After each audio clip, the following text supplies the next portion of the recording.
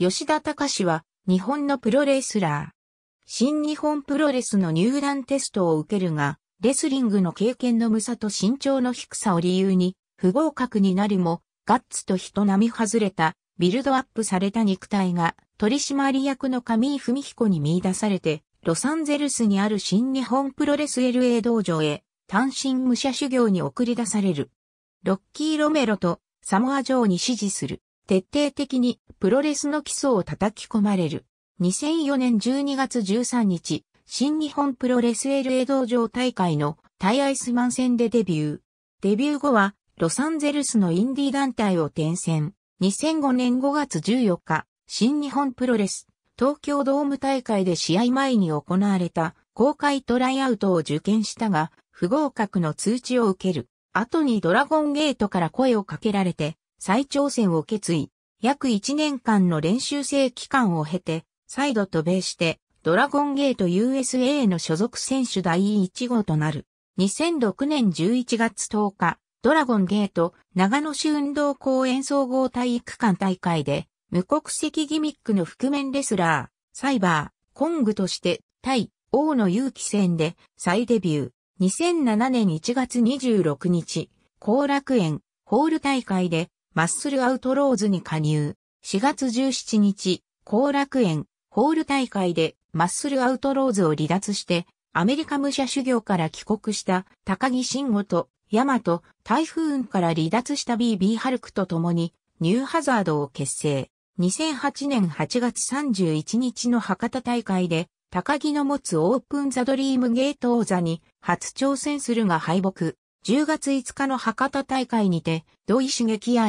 吉野正人の持つオープンザツインゲート王座戦に勝利して王座を獲得。10月10日には、ヤマトと組んで高木とハンディキャップランバージャックマッチで対戦。2009年11月15日、首の負傷と精神的不安定を理由にドラゴンゲートを退団。2010年2月7日、ドラゴンゲート公式サイトにて、本人の今後の状況を踏まえた上で再契約を考慮する運びと発表される。2011年に、持月重明に BW 対抗ユニットに誘われ加入するが、最初のシフトチェンジで、ドラゴンキットと入れ替わりで BW に加入。さらに吉野正人が発案した、何和式イリミネーションマッチのタイトルをかけたノンブレコントラノンブレなにわ式イリミネーションマッチで勝利し、タイトルを吉田式イリミネーションマッチにし、先行高校を決める方法を腕相撲にした。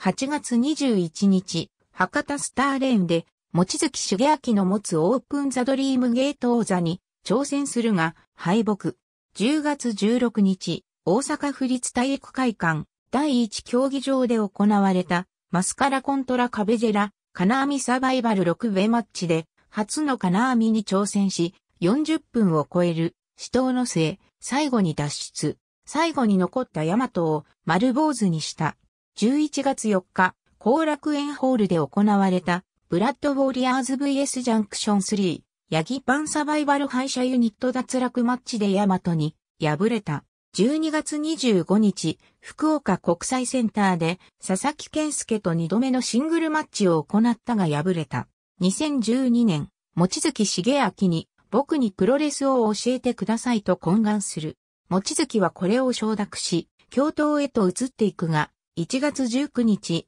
後楽園ホールで行われた、ブラッドウォリアーズ VS ジャイクション3敗者ユニット、脱落マッチで裏切り BW に電撃加入。この時シーマを裏切り追放した。その後、戸沢明らが結成したマット・ブランキーに加入。12月23日、オープンザツインゲートで敗北し、マット・ブランキーを追放される年末最終戦で行われた2012年最弱マッチにて富永と対戦し、三角締めを決められたアゲクレフェリーストップ裁定となり、敗戦。ハリウッドストーカー市川に敗れた、こと香りと共に、団体内最弱の称号を得てしまう。同日、メイン終了後の土井吉のマイクパフォーマンス中に現れ、リングに上がりマイクを握ると、ファンの後押しで団体内最弱の称号を得ることができたと感謝のコメントを発し、さらに唯一流出をしているオープンザお笑いゲートへの挑戦を表明。絶対に菊太郎からベルトを取り戻すと宣言した。2013年8月にマット・ブランキーがウーハーネーションを追放したことにより、出戻りという形で再加入。10月6日、ヤマトとハルクと共にトライアングルゲートを獲得。2014年6月14日、ドイとクジリと共にトライアングルゲートのベルトを獲得した。2015年5月27日、後楽園ホールにて行われた、花菜の自主工業、カナプロマニアデザイアに参戦、高橋忠しなりとのタッグで、マグニチュード岸和田関本大輔と対戦。2017年3月5日、ヤマトの持つドリームゲートに挑戦。試合中に自らマスクを外し戦うも敗北。2017年5月5日に開催された愛知県体育館大会、デッドオアライブ2017のメインイベント、マスカラコントラカベジェラ護衛、オープンザドリームゲート戦に、高木慎吾、BB ハルク、土井茂樹と共に挑み、暫定挑戦権の証である金網上のフラッグを最後に獲得。その後、最後の一人まで残り、ヤマトとの王座戦に挑んだが敗れ、マスクを剥がされ、本名、年齢、出身地を明かした。2018年キングオブゲートでは、ハルク、清水、ジェイソンを下し6点で、初の決勝トーナメントに上がるも、吉野正人に敗れ決勝戦に進むことはできなかった。12月23日、ザ・ファイナルゲート2018では実に7度目となる、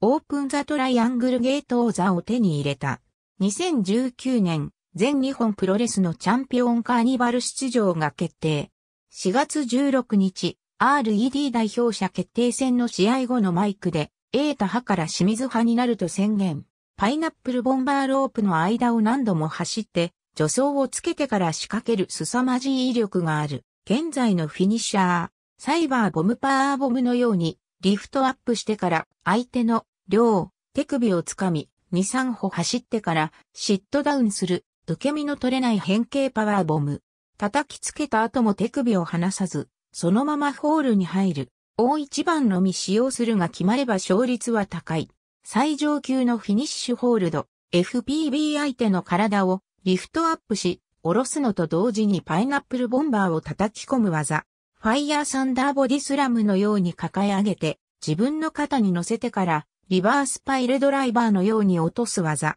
サイバーボム並みの威力を持ち、フィニッシュになることもある。最近はこのファイヤーサンダーからパイナップルボンバーで勝負が決まることが多い。ジャックハマーサイバーカッター相手をリフトアップし落とす直前に相手の首を抱えて落とす変形ダイヤモンドカッター。ジョニーエースのメキシカンエースクラッシャーのようにカウンターで使われるが相手をその場でリフトアップして行う場合もある。技をかける際に技名を叫びながら放つ。ピークラッシュアルゼンチンバックブリーカーの体勢から回転させてトルネードボムのように落とす技。ネックマフラー相手の片足を首の後ろでアルゼンチンバックブリーカーのように持ち上げ、そのまま相手の体をも持ち上げる。相手は逆肩エビ固めのようになったまま持ち上げられる。ボディスプラッシュダッシュして自分の対前面で相手にぶつかっていく。串刺し式で使われるほか、相手がロープに走って振り返る瞬間を狙っての突進は、実況によく交通事故と言われる。ハンマーパンチラッシュベーダーのベーダーハンマーや、森島武の森氏ハンマーと同型の技。自分の腕の内側を相手の頭部へフック気味に左右連続で叩きつける。パウ？という独特の叫び声を上げながら放つ。ダイビングエルボードロップ跳躍力のある対空時間の長いダイビングエルボードロップを仕掛ける。パイナップルホールドサイバーコンビネーションコーナーにいる。相手にコーナースプラッシュを決め、一旦距離を取ってから、串刺し式、パイナップルボンバーでも一度攻撃して、ふらつく相手に、ロープの反動を利用した、パイナップルボンバーでなぎ倒して倒れた相手に助走をつけて、ボディプレスを浴びせ、そのままフォールする一連の流れ、サイバーコンビネーションバージョンにサイバーコンビネーションのようにコーナースプラッシュ、串刺し式、パイナップルボンバーを順に攻撃した後にサイバー、カッターで相手をマットに叩きつけ、倒れたところにロープの反動を利用したボディプレスでのしかかり、そのままフォールをする流れ、ボディブランチャコーナートップからリング外にいる相手にお見舞いする。最近流行らなくなっている。ST カイアシオンのあざかため地獄付きパイナップル攻撃パイナップルを使った狂気攻撃。相手に直接叩きつけたり、パイナップルの表面で相手の顔をこすりつけたりと様々なパターンがある。パイナップルジュース試合中にギブミーパイナップルとセコンドの選手に指示し、セコンドが投げ入れたパイナップルを握力で握りつぶし、絞った果汁をダウンしている。相手の顔面にかける。最後はパイナップルを引き裂いて四方へ投げる。ありがとうございます。